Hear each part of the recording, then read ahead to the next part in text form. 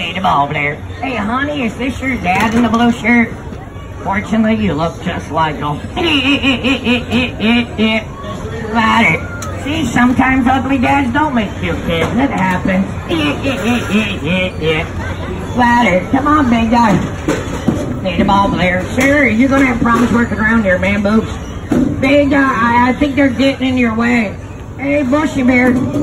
Need ball player. Big guy, you look like a woolly mammoth. Big guy. Ladder. Why does that beard look so like that? Big guy, it looks like you went to a wool sheep factory. Big guy. You're not aiming very well, are you? Are you just there to look pretty and that's it? I mean, you are pretty ugly.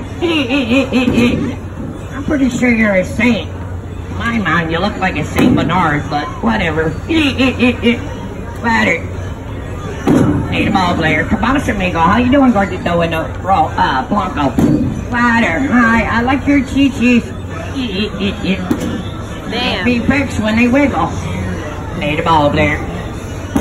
Water. Big eye, I would think they would have some kind of luck. Maybe not. Hey! Ha ha.